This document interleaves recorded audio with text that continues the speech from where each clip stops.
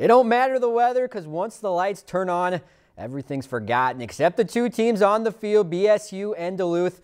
Both 6 and 2, both on five game winning streaks and undefeated in the North. Get ready for a battle for the lone spot on top of the division. Beavers, Bulldogs, Chet Anderson Stadium. It turned into a snowball.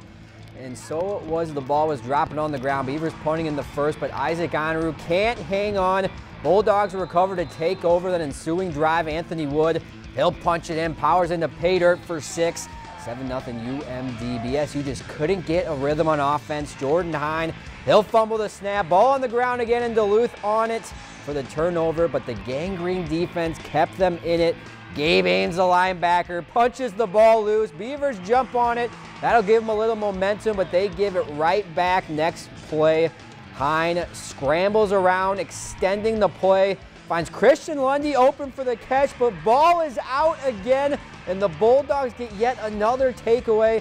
And the offense puts it away later in the quarter, and it's Wood again. Breaks free on the outside, walks into the end zone. A tough night for the Beavers in the Snowball. They fall 17 0. Duluth now all alone at the top of the standings. If you've enjoyed this segment of Lakeland News, please consider making a tax-deductible contribution to Lakeland Public Television.